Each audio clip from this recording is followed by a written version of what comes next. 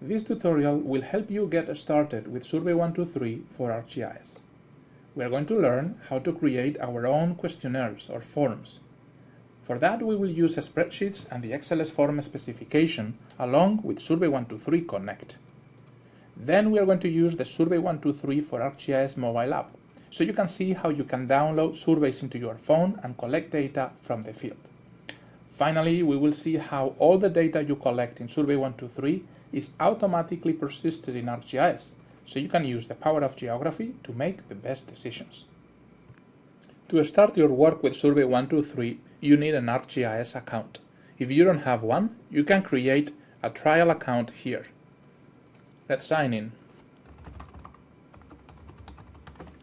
This is going to open the gallery of surveys, which in your case will be empty because it will be the first time you log in into the website.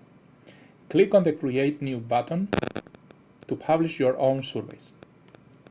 Today we are going to use Survey 123 Connect. This is a desktop application. It runs on Windows, Mac or Linux. Simply download this application and install it on your laptop.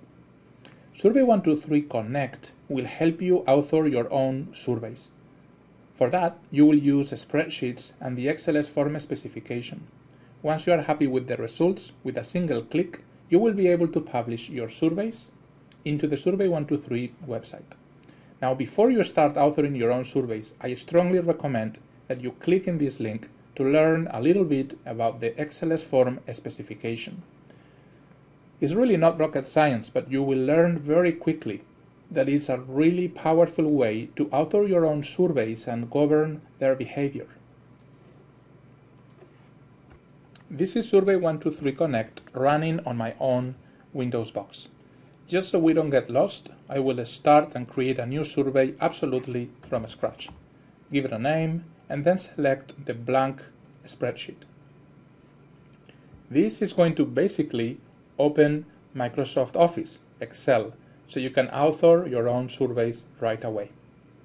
You will see a bunch of columns in here, but for now we only worry about these three, the type, the name, and the label. In the label, you will type the questions that will be presented to users. For example, what is your name? What is your age? Do you like sports? what sports do you like, and maybe where do you live. For each of these questions, you need to decide in which field in the database you want to persist the information. Those are the names that I'm typing right now. Finally, the type defines the type of question or answer that you expect from this question. So what's your name will be text, what's your age will be an integer, do you like sports will be a select one because you want people to select an option from a list. And this list will have a name, in this case yes underscore no. The lists are actually defined in the choices worksheet. You can see them here. I have a yes underscore no list with two options, yes and no. The label defines the string that will be exposed in the choices list to the user, and the name simply specifies the value that will be persisted in the database. For the what sports do you like question, I'm going to use the select multiple type of question. So here I'm going to again define a list name, in this case sports. Now because the sports list doesn't exist, I can actually create it. So here I'll provide the options for the user And finally, in this column, I will put the actual values that I want to persist in the database, which actually could be integers if I liked, but in this case I'm going to use just the strings. Now I have the list, and the list will be used by this particular question. Finally, the where do you live question expects a geopoint as a response.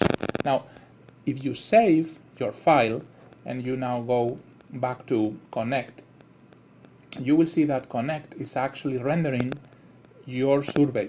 So we have the question, what's your name, what's your age, the options, uh, the multiple select, and the uh, geolocation question. Now let's do this uh, a bit more uh, let's build a more sophisticated survey here. So for example, uh, some of the sports you may like are not in this list. So we can say, I want to use a select multiple sports or other. Now I save and connect will actually refresh your survey. And now we have the other option so you can specify a free text. Uh, next, um, you may want to hide the what sports do you like question if the answer to do you like sports is no. This is done through the relevant column, which you will find on the right. Relevant, there you go. This column helps you define expressions that control when a particular question is relevant. For example, when is this particular question relevant? Well, only when the answer to likes the sports is equal to yes. So now we save, connect will refresh, and if you like sports, we ask you what sports do you like. Otherwise, we hide the question. That's pretty cool. There are so many things you can do here. For example, you can use uh, hints. Um, you can use constraints. Constraints say, what's your age must be greater than 17 or otherwise the constraint message will be you must be older than 17. I may want to flag a question as required, such as the name. Uh, I could set uh, default values um, and many other things. Now the thing is, how do you learn about the syntax and the things that you can do here? Well, this is all controlled by the XLS form specification, which uh, we saw before. So if you come here, you can learn about all of type, all the question types, how to build uh, relevant expressions and formulas and so much. Now, if you look carefully at this website, you will see that some uh, options or some sections are highlighted in yellow and green. That indicates that these particular portions of the spec are not yet implemented by Survey 123. We are working to implement it all but in this page you can see what is implemented uh, so far. Obviously you will see this page changing as we implement more and more things. Now once you are happy with your survey, you can actually uh, sign in using your ArcGIS credentials and simply click this button to publish it to your own ArcGIS organization. You have some options for publishing and this is basically going to parse your Excel file, understand the validation, logic, and all of that, and create everything you need in ArcGIS to have a survey that can be downloaded into your app. Now that the survey has been completed, you can go back into the survey gallery, refresh your browser, and now you will see, boom, test the survey you created. Um, this is empty and uh, nobody has access to it. You can go into the share option and share the survey with members of your ArcGIS organization. The purpose of doing this is so they can actually go download the Survey 123 application and uh, collect data in the field. This is my Android phone. I'm looking at the Google Play Store in which I'm going to search for Survey 123 just uh, go into the app. Is roughly 15 megabytes install it and the first thing you will see is that you will need to provide your credentials. So just uh, sign in. And at this moment this is going to present all of the surveys that have been shared with your account I'm downloading test which is the one that we just authored and I can start collecting data immediately so the same questions that we saw in survey 123 connect are now presented to me and I can just go ahead and answer all of the questions. Uh, the location is going to automatically capture where you are, but you can at any moment move the pin and select a different coordinate. If you want to change the base map, you can actually do it. You can see the list of base maps that are supported. Actually, in Survey 123 Connect, if you look carefully, you'll see that you can define the default base map, the default extent, and many other things. When you are happy, you click on the bottom right corner and you can either keep this survey in your device to send it later, maybe when you are in Wi-Fi, or you can click on send now. This will send the survey right away and it will go into the send uh, box. You can keep collecting data here or you could actually go back to the gallery and maybe download other surveys that you may have uh, authored. Uh, it's pretty much that simple. Now back in survey 123 in the website, uh, in the survey you'll be able to go into view results and see all of the data that has been collected. So those are the two points that I collected before with all of the questions that I typed in. Is uh, that simple. Actually now that the data is in ArcGIS, if you would like to open this data within ArcGIS, you could simply click on that link that I pushed, sign in,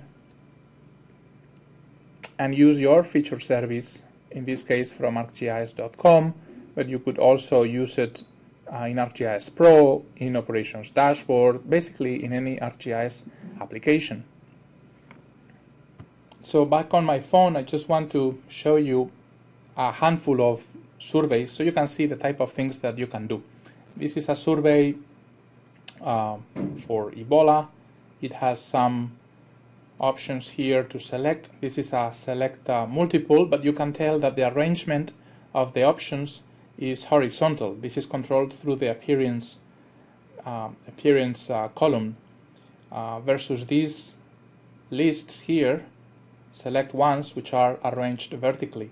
You can see a relevant here, okay, only the date of uh, death is only asked if you are actually, if the, the patient is actually dead. Uh, the same with the patient occupation, if it is other than healthcare worker, I'm going to ask you what is your occupation.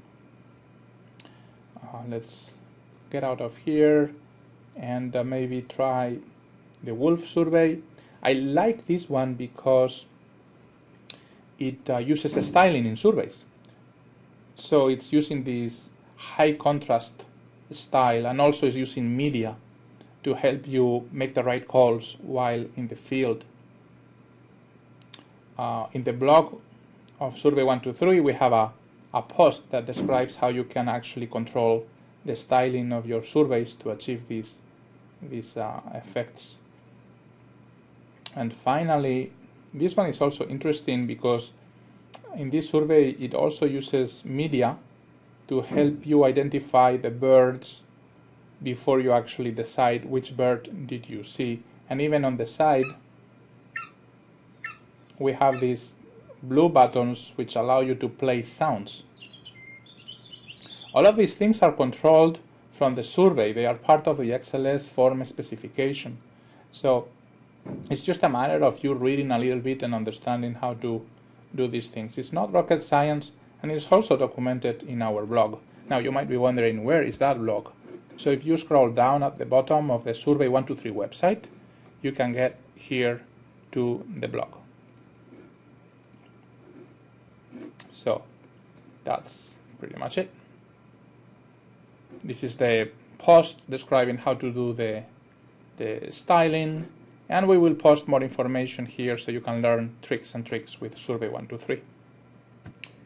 The last point I want to make regards with the um, public repo that we have. If you click on issue tracker, here is going to take you to the public repo where you can submit issues. I'm sure you will find many.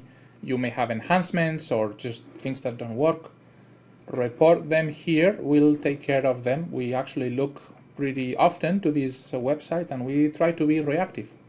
So help us get uh, Survey 123 better by participating in that um, repo.